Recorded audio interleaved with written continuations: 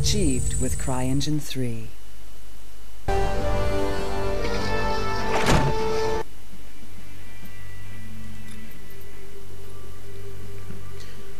Всем привет, с вами Рома DVD, и сегодня я вам продемонстрирую обзор на игру, которая называется Warface. Итак, обзор, часть первая. В этом обзоре мы посмотрим на классы игроков, которые можно играть. Это штурмовик, это медик, это инженер, это снайпер. И посмотрим на вооружение, которое они имеют. Начнем, пожалуй, по очереди. Начнем со штурмовика, со стандартной винтовки штурмовика, которая нам дается при входе в игру. Эта винтовка называется М4А1, американское говнище. Как видим, винтовка ложит, ложит, кладет, блядь, кладет и ложит. На самом деле, самая слабая стокая винтовка, но она практически не имеет отдачи. Практически не имеет отдачи эта винтовка. Поэтому ей очень выгодно играть на начальных званиях, так сказать, набивать свой скилл, тренировать себя. И потом переходить к более мощным винтовкам, которые имеют уже, соответственно, большую огневую мощь, но хуже прицеливание, так как имеет больше, намного большую отдачу. Штурмовик имеет такую возможность, как пополнять свой боезапас. То есть доставать ящик с патронами, пополнять его себе, либо давать его своим друзьям, сокомандникам, так сказать, тиммейтам. Те, кто с ним играет. В игре также имеется клавиша, которая отвечает за сменные модули. На, игр... на винтовку у нас только ставится глушитель и не более. То есть, как бы, можно глушителем, можно без. Глушитель, кстати, уменьшает э, отдачу, то есть без глушителя без глушителя, как видите, отдача больше.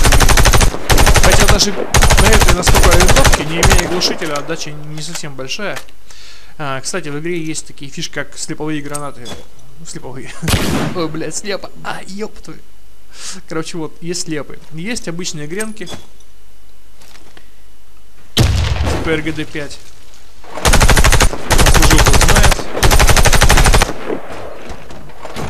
Ну что, мы посмотрели на штурмовика, если я представляю штурмовик с этим автоматом. То есть теперь можем автомат поменять, взять, к примеру, Хекер Кох, пойти на полигон, у него уже больше сменных модулей. То есть, видите, отдача уже немножко больше у него, чуть-чуть, но больше. К тому же, можно ставить сменные модули. Например, прицелы. Самый первый прицел, который открывается в так называемый стандартный прицел, стоковый прицел. Полная какашка, но все-таки он немного увеличивает и помогает стрелять более точно. Более точно. Есть также коллиматорный прицел. Здесь он называется РДС. На самом деле это Вот. Наиболее удобные прицелы это трехкратный прицел. Видите, им очень нет, извини, чувак, но это попозже будет. Как видите, меня сейчас пригласили знакомые в игру, да, есть такая функция приглашения друзей в игру. Или соклановцев. Так вот. Этот прицел помогает снимать снайперов. Есть э, наиболее удобный прицел, который открывается намного позже. У него кратность меньше, но тем не менее у него обзор намного удобнее, нежели у других прицелов за счет того, что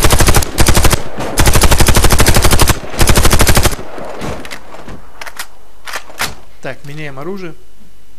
Смотрим дальше винтовка, допустим, Тавр израильский, автомат, на который уже устанавливается еще больше модулей, то есть такие модули, как пламя-гаситель. Блять, вернемся на место. А, такие модули, как пламя-гаситель позволяют нам пробивать деревянные ящики и металлические, тонкие металлические контейнеры и тонкие металлические листы. Нет, блин, не сейчас. Вот.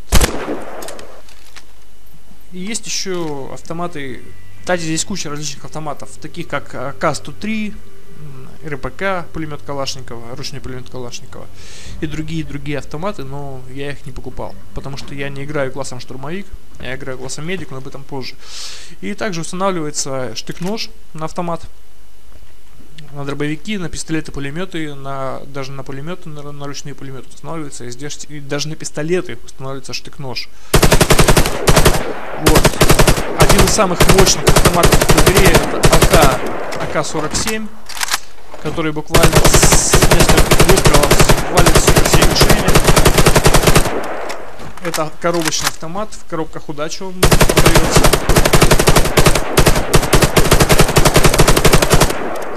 Имеет довольно большую отдачу по сравнению с предыдущими автоматами. Но и также и атаку штыком которая убивает, говорится, с первого тыка. Тык, тык, тык и фраг. Также в игре есть прикольная штука, как подкат. Как ее использовать, я покажу позже. Скорее всего, во втором выпуске. Давайте пройдемся по классу медик, посмотрим, что у нас есть. Стоковый пистолет выдается нам Браунинг. И сток, стоковая винтовка нам выдается, соответственно, Ремингтон.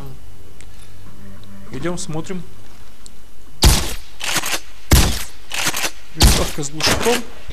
И, соответственно, без глушака она стреляет намного интереснее. Но зато ее видно будет на радаре.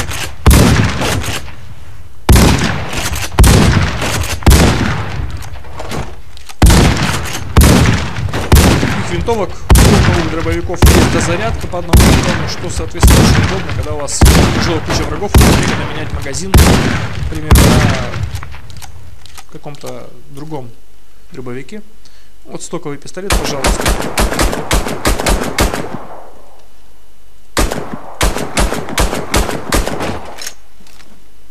Можем поменять дробовик, например, взять Ремингтон, один из мощнейших дробовиков в этой игре. Ваншотный дробовик, который просто валит в упор. Совершенно не целясь, так от болта стреляю, тоже заряжает по одному патрону.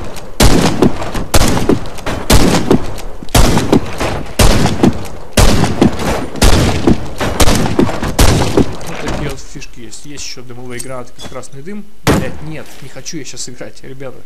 Отстаньте. Вот, ну и, соответственно, я же показывал гранаты. Бамс.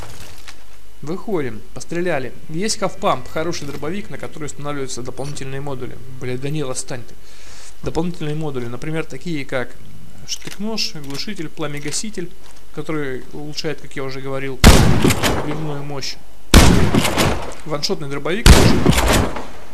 Памп. Является с зарядным дробовиком.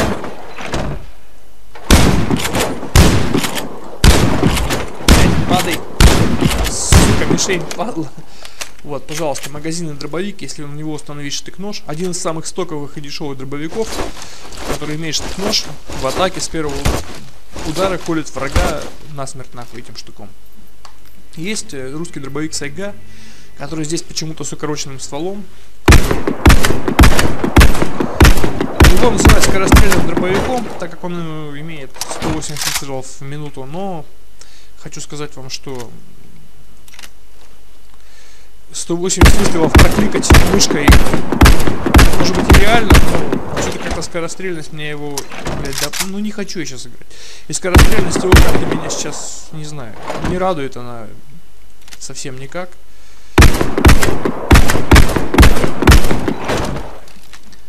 Вот, поэтому я вот имел Killtech Shotgun, я считаю одним из лучших дробовиков, потому как он имеет 670 урон, это максимальный урон дробовика в игре, то есть самый максимальный урон, самый мощный дробовик в игре, скажем так. Ну что ж, пойдем дальше, пожалуй. А, инженер, стоковое оружие инженера Хеклер Кох NP5. Смотрим, идем. Один модуль единственный, который устанавливается на пистолет-пулемет, это глушитель. На данный, на данный этот пистолет-пулемет. То есть на него, кроме глушака, больше ничего не ставится.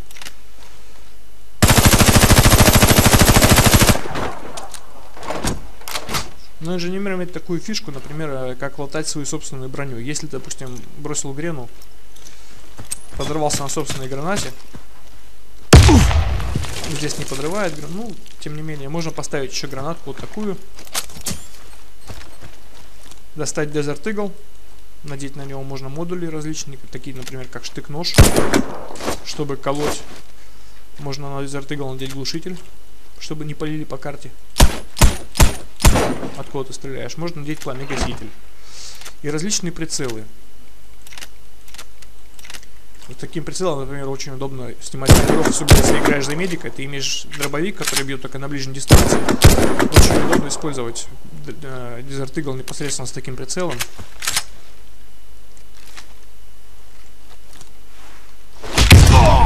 Бам! Вот такие вот дела, ребята. Так, что у нас еще есть? Есть э, такая прикольная пушка. За, за инженера я больше ничего не покупал, кроме вот Хирокох МП-7 купил я его. Имбовый ствол, без отдачи совершенно.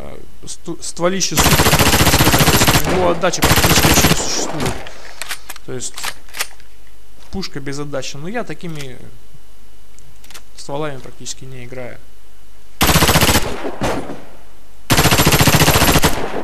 Вот, пожалуйста. Есть трехкратный прицел.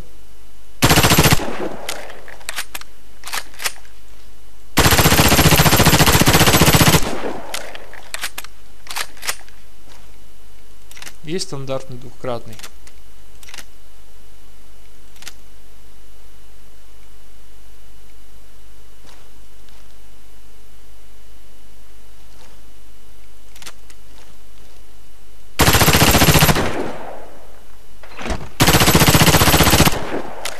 Не знаю почему, но почему-то мне кажется, что когда одеваешь двукратный прицел, мне кажется, что почему-то мне кажется, что отдача меньше, на самом деле. Не знаю.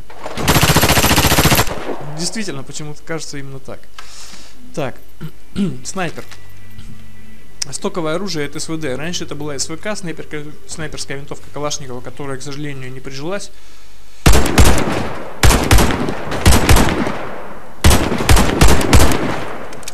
Но недавно переделали скин и назвали винтовку СВД. У нее красивая анимация перезарядки. Посмотрите, если он продемонстрирую. Да блять, ну зачем? Вот я же видео снимаю. Ну, Антон, ты что делаешь? Ты что я снимаю видео? Смотрите, вот красивая анимация перезарядки, в отличие от другого оружия, там менее интересная анимация перезарядки. Итак, что, что на этой винтовке мы имеем? Слабейшая винтовка в игре, кроме глушителя никаких модулей больше нет. К сожалению, почему-то разработчики посчитали, что СВД это говно. Жаль, очень жаль, потому что я считаю, что СВД это очень сильная винтовка, так как служил в армии э, два года и доводилось мне стрелять из этого оружия. Я вам скажу, что очень мощная вещь. Стрелял я не только с СВД, так что вам скажу, что, пожалуй, это мощнейшая винтовка, которая мне встречалась. Различные прицелы есть на снайперку. То есть разметки у них различные. Как видите, можно менять кратность прицелов. Самый удобный это четырехкратный прицел, потому что он больше всего обзор. И он не мешает совершенно. Есть СИК, снайперская винтовка. Винтовка 20-зарядная. То есть, как говорится, чувствую себя, далеко с 20-зарядной винтовкой. Сложит она вообще. Как видите, она кладет, блять, просто в хлам.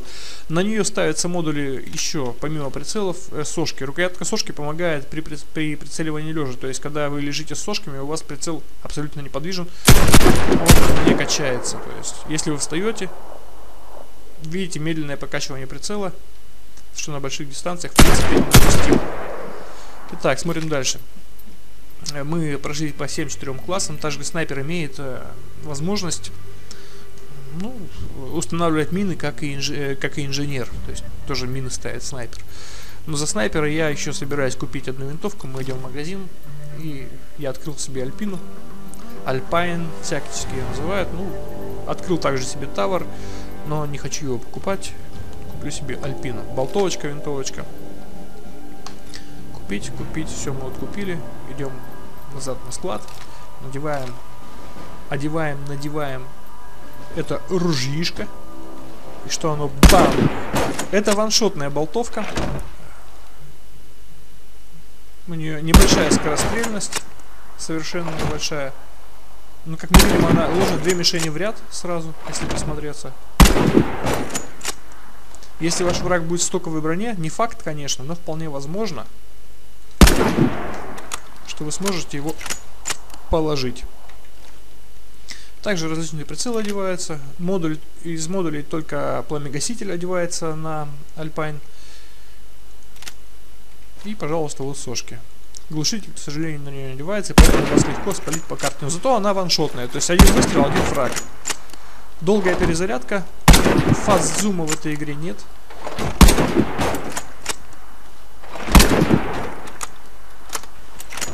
Зато есть такая приятная вещь, как бронежилет для снайпера, который позволяет таскать с собой дополнительную обойму. Что все-таки в случае с Сигом наиболее выгоднее, потому что я считаю Сиг все-таки нагибателен в бюджетном варианте, если у вас нету доната на аккаунте, как у меня в данный момент. У меня есть донат, это випка, вип-карта, вот она, позволяющая давать прирост к варбаксам и поставщикам. Но нет, по крайней мере, пока донатского оружия, потому что я еще об этом не задумывался особо, на самом деле. Вот. Есть у медика еще, кстати, на дробовик, который я пропустил. Это МС-255-12, наш российский дробовик Ижевского завода. А, автоматический, причем дробовик, когда нажмем на одну клавишу, и он выстреливает все 5 зарядов в одну, одну мишень. Так, установлен прицел, штык-нож ставится на него, как видите, на него устанавливается пламя-гаситель и глушитель. Вот пламя-гаситель и прицел. Ваншотный дробовик на близкой дистанции неплохо ваншотит. Опа, но не всегда почему-то. Сейчас он отказывается ваншотить. Я не знаю, от чего это зависит, на самом деле, ваншотность дробовика. Но на том же самом полигоне дробовик у меня ваншотил. Сейчас э, интересный вам пример приведу. Нет, к сожалению, сейчас я не буду играть. Интересный пример. Смотрите, я целюсь внимательно в центр мишени. Внимательно смотрите, центр мишени. Оп. Оп. Ваншоты пошли, видите? До этого ваншотов не было. То есть от чего зависит ваншот, так и непонятно, на самом деле. И ну раз у более слабого дробовика есть ваншот, вот, только что не было ваншота. Патроны кончились. Ну, в общем-то, все, что я хотел показать в первом ознакомительном видео, я, наверное, все показал, кроме, пожалуй, вот с чем я обычно хожу. Кроме, пожалуй, функции медика. То есть я вам показал, что инженер может э, латать броню, медик может, а, с, бля, вернее, штурмовик может выдавать патроны своим тиммейтам, а медик может спасать. У него есть аптечка, он может с помощью аптечки себя лечить и может лечить своих союзников с помощью аптечки. Также есть дефибриллятор у медика, с помощью которого он может оживлять враг, э, своих бойцов, либо пиздить врагов, подбегая к ним вплотную и хуячить их дефибриллятором, убивая их сразу же с первого разряда. Что касается Джиггернаута, Джиггернаута, конечно, с первого взгляда не убьешь, но отпиздить нихуево можно. Есть нож стандартный, который... Есть другие ножи, конечно, которые можно покупать. Но я на ножах не играю, мне как бы это не интересует, но имеешь только ножи. И есть еще вот такая вот атака. Ваншотная, скажем так, атака. Ну и самый главный козырь этой игры, это такая фишка, как подкат, например. Ты бежишь, бежишь, бежишь, подкатился и кому-нибудь в ванну напихал ножа. Или там бежишь, бежишь, бежишь в подкат. На его с дробовичка там пару раз. Хлоп, хлоп.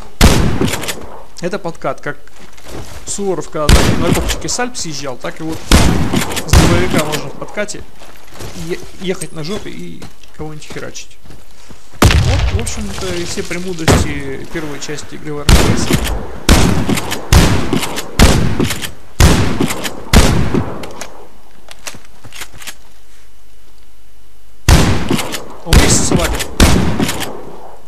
Три выстрела потребовалось. Нет, ну это не дело.